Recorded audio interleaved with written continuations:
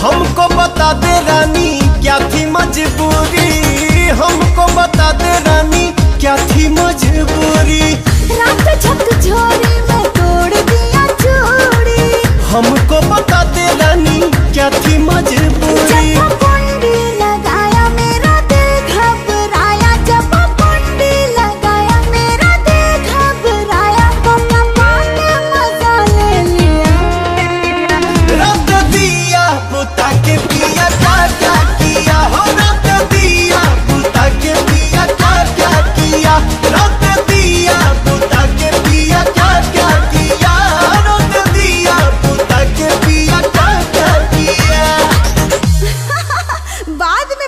कहाँ है? अभी दिक्कत बका।